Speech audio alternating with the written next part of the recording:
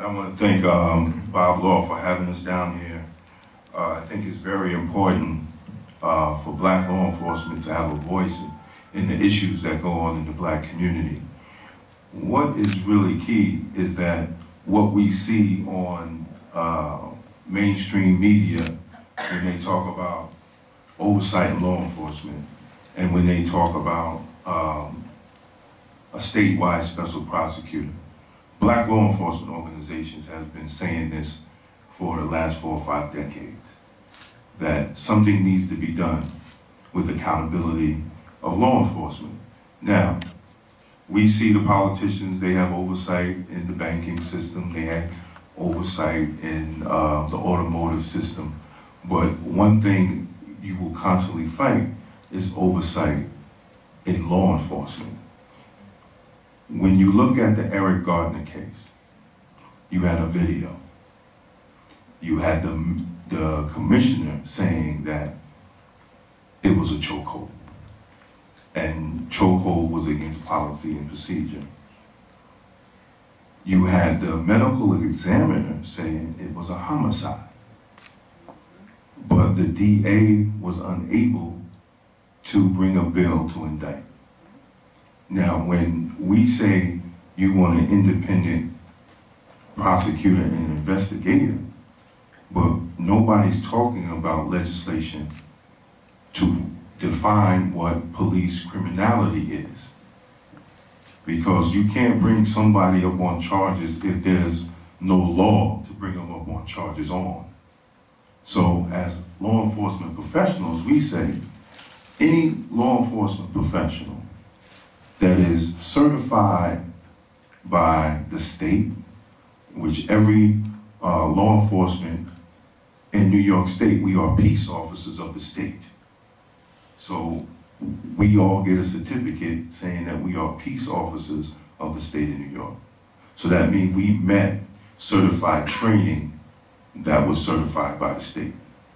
Now, if we violate that training, and if we violate the powers that's given us by the state to use deadly force, and we violate policy and procedure of the, of the department that we work in, we need legislation to define that and say it's a crime.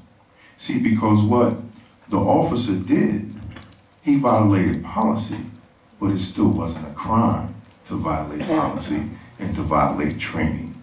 So when we talk about today is Martin Luther King's birthday, but there was a main goal, and the goal was to change legislation. So we have to define the legislation that we needed to make, we have to make what they're doing a crime. And we have to change the language from not police brutality, but police criminality. Because what these officers are doing is a crime. And we have to, we have to use our language in that manner. Now, the next step is what? Statewide special prosecutor and an investigator.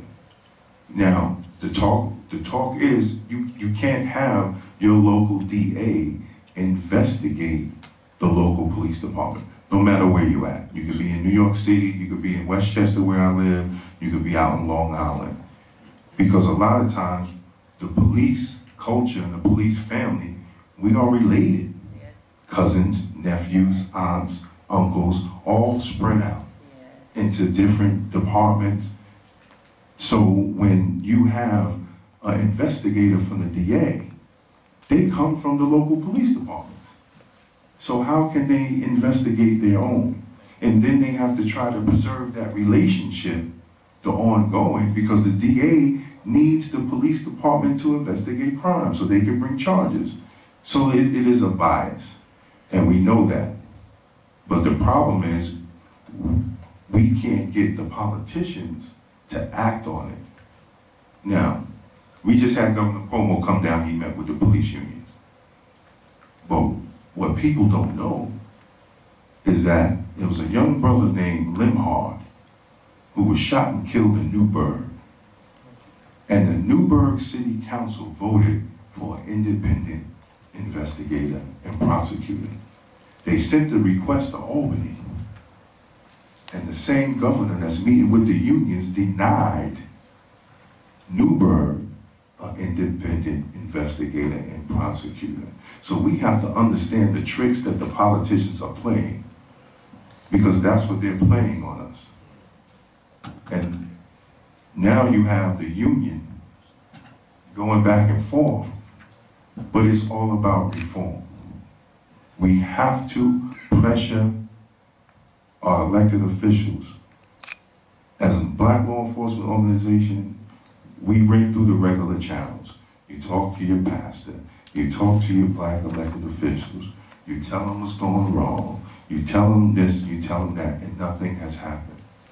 So right now, there are a lot of black law enforcement hoping that these young black brothers and sisters that are out in the street will continue to bring this to the forefront because we have no faith in our black elected officials or many of our pastors in our community because we have sat down with them over the years and nothing has happened. So now we are hoping that these young people continue, continue, continue to continue to agitate, continue to keep this on the forefront. And as law enforcement, we will gladly give you the tools that's needed because we know where the bodies are buried. We know the secrets of the policies and procedures because we were trained by them. We were trained. Last thing is we need to fight for residency in law enforcement. Yes, sir. Yes, sir. We need to have our police departments to reflect the community that they serve. Earlier today, I had um, Al Jazeera News came up to Westchester County because we always, we always said that they are Fergusons in New York. That's right. They are police departments that do not reflect the community. You have Yonkers, Yonkers, New York, which is the third largest city in the state of New York. Out of 410 officers, you barely have 15 black cops. This is in Yonkers. Mount Vernon, New York, which is a population approximately 90% black, with a black mayor, a black city council, a black board of ed, but they only got 20% black officers. So what we see in Ferguson, we have that in New York. So when they talk about Ferguson, the media, they're distracting you what's going on in your own community. And then you have certain leaders who will march in Washington, D.C., but won't march on the steps of the state capitol. But yet the same person in the state capitol is at his birthday party. Talk about it. Talk about it. Do you understand what I'm saying? Yes, sir. Because the only way you're going to get legislation changed in New York is to get the governor to sign it. And, and Albany to move it. So let's not be fooled by what's going on. I hope that we will march in Albany and to force Governor Cuomo to put legislation in place. One more thing before I leave. The young people in uh, Connecticut, when they had, the white man went up in the school and killed all the kids, Sandy Hook. New York State passed the toughest gun law in three months. Mm. In three months. We had over 200 black men and women shot, shot, and killed by NYPD since Amadou Diallo, and not one piece of legislation has been passed. So when we talk about Black Lives Matter, we have to hold Governor Cuomo to the fire. Because if he could use his bully pulpit to pass a piece of legislation that made New York the, toughest gun law overnight, and some Republicans didn't even read the legislation, they voted because they felt it was what? The right thing to do. We have to force those to do that the same when it comes to oversight and law enforcement. That is the right thing to do. And if Black Lives Matter, your next election, you will not be in office. Thank you very much.